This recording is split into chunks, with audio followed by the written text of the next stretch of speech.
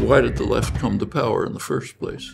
There was a slight increase in democratic participation. Finally, there was labor organizing. Uh, people began to have a voice. As democracy becomes more real in a way, people vote and participate, these candidates grow. Like Lula here, he's not the only one, but Correa in Ecuador, Kirchner to some extent.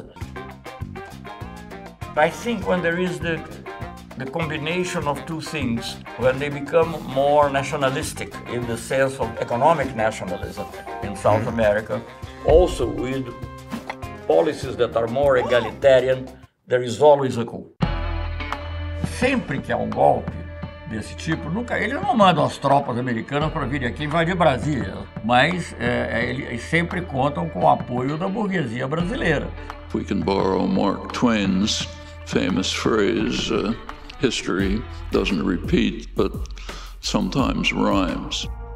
In 2013, Dilma made an effort to reduce the interest rates, and that's oh when the campaign started to focus on uh, corruption, uh, the media going crazy, mm-hmm. uh, uh initiating the soft coup that led to the impeachment, mm-hmm. the imprisonment of Lula.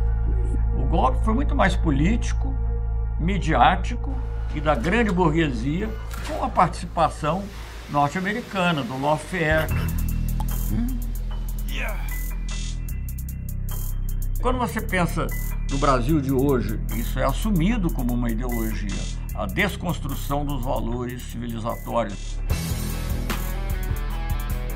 What lies behind it is what's called eliminating the administrative state. That's means essentially destroying the government, huh? destroying all programs. The right wing is always at work. It's relentless class war. Uh-huh. Can take decades, but they're preparing the ground for it